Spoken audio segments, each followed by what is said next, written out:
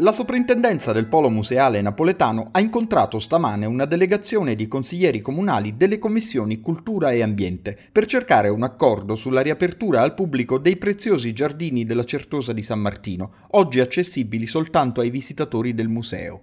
Si tratta evidentemente di mediare fra l'esigenza di tutelare un'area di grande valore storico ed artistico e l'opportunità di consentire ai cittadini di godere di uno degli angoli più belli della città. Sulla terrazza superiore della Certosa i monaci coltivavano le erbe medicinali. Più in basso si staglia il raffinato orto del priore che sovrasta l'antico vigneto sulla collina.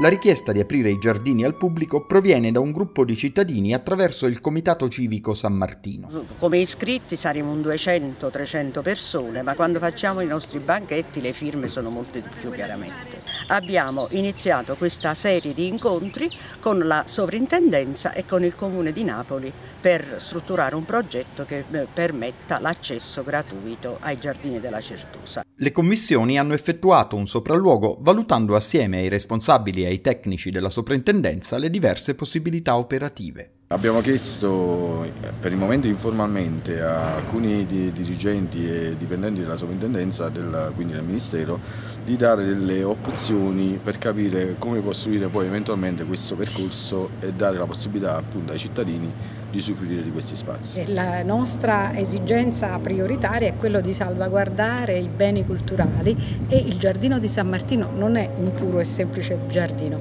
è un giardino storico antichissimo dei certosini. La nostra volontà precisa è quella che tutti ne possano fruire sempre di più, però nella, nella maniera in cui si possano salvaguardare queste due esigenze, tutela e valorizzazione.